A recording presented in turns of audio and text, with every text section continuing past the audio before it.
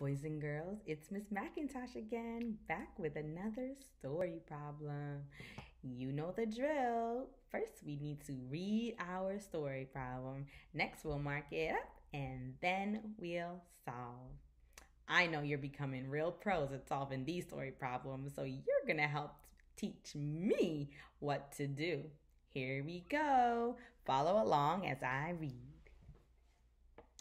Bradley had 53 toy cars. His friend gave him 26 more toy cars. How many toy cars does Bradley have now? Hmm. Seems like Bradley has lots of toy cars. Let's reread the story problem so that we know how to mark it up and solve. Here we go. Bradley had 53 toy cars. His friend gave him 26 more toy cars.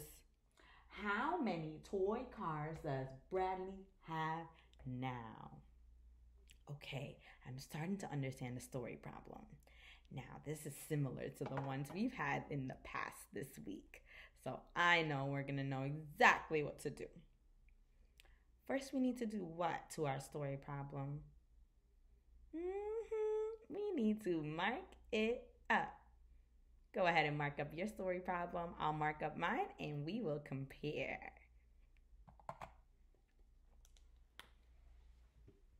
Make sure you circle the numbers.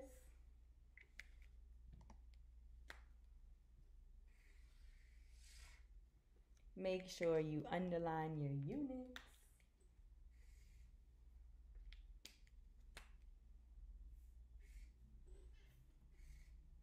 And you know I put a cloud around that important word more. Does your page look like mine? If it does, shout hooray, hooray, hooray, hooray. Okay, now we get to solve.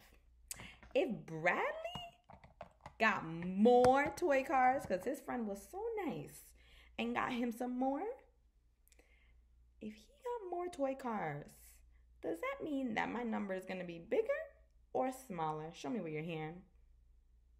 Yeah, it's going to be bigger. Whenever someone gets more, that means my number gets bigger. And if my number gets bigger, am I going to add or subtract?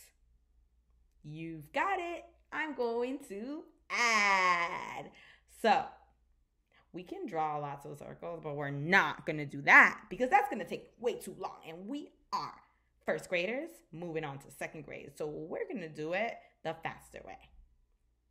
We are going to count on using tens and ones.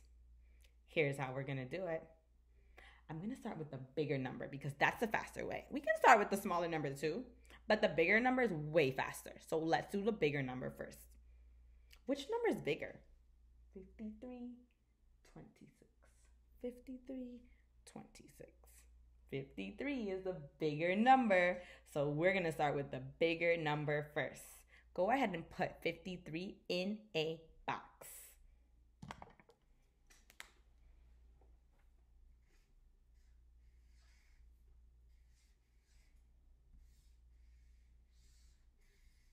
Okay. Now we need to do what? Mm-hmm. We need to add it up. That's right. Add it up. Oh yeah. Put a plus sign to add it up. Next, what are we gonna do? Oh yeah. Tens and ones, because that's the faster way. How many tens does 26 have? Show me on your fingers. 10. So how many 10 sticks do we need to draw? That's right. Two 10 sticks. Here we go.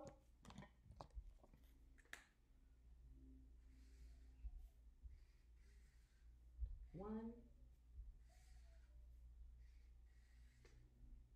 two. And now I'm going to write 10 inside of each one of them to make sure I double check.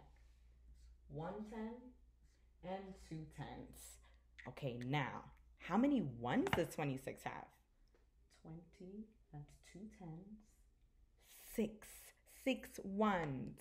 Go ahead and draw six one circles. One, two, three, four, five, six. And now I'm going to double check. One, two, three, four, five.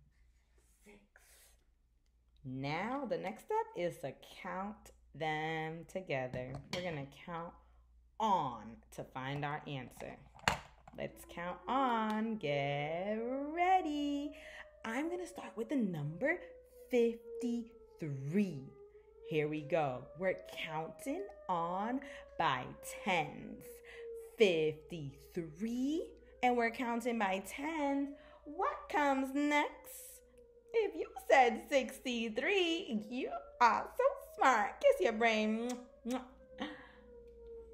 63.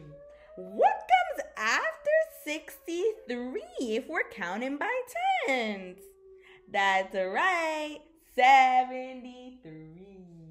So we're going to write 73 on top of that 10 stick. But now we're out of tens. So what do we need to do? If you said count the ones, you got it. We're going to count the ones now. But when we count ones, we need to count by ones. So we're starting with 73. Call yourself 73. What comes next? 74. Write it down. Count the rest and tell me what you get.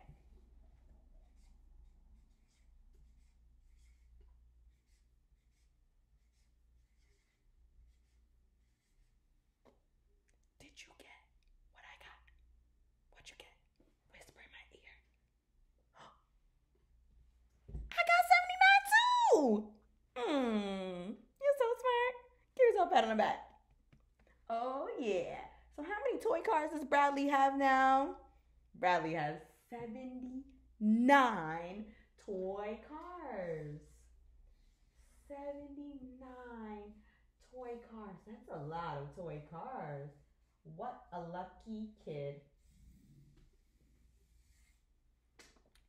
Alrighty, we are all done with today's math story problem. Have a great day. Bye.